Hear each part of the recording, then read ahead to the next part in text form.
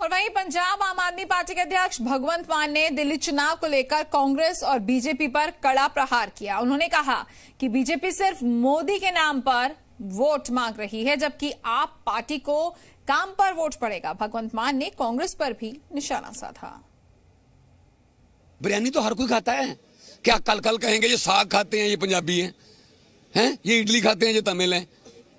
क्या आप खाने पीने और कपड़ों पे, नाम पे भी ये विभाजन करेंगे देश का? बीजेपी वोट मांग रही है, मोदी के नाम पर, आम आदमी पार्टी वोट मांग रही है, केजरीवाल और मनीष सिसोदिया के काम पर। लोगों को नाम से कुछ लेना देना नहीं, काम को वोट डाल रहे हैं कांग्रेस तो कांग्रेस की हालत तो 80 साल के उस बुज़ुर्ग की तरह होगी जिसको डॉक्टर जवाब दे देते हैं कि भाई घर ले जाके सेवा कर लो, इसमें कुछ नहीं है। उसकी तो सेवा चल रही है, ठीक है ना? वो सर्वे में भी ज़ीरो से एक आता है, ज़ीरो से एक। कांग्रेस कह रही है, हम पिछली बार से दस गुना बढ़िया प्रचार करेंगे। मैंने कहा, ज़ीरो को दस से गुना करो, ज़ीरो आती है। ज़ीरो को पचास से गुना करो, ज़ीरो होता है। जितनी मर्ज़ी गुना बढ़िया कर लो, आज ज़ीरो से आगे नहीं बढ़ेंगे।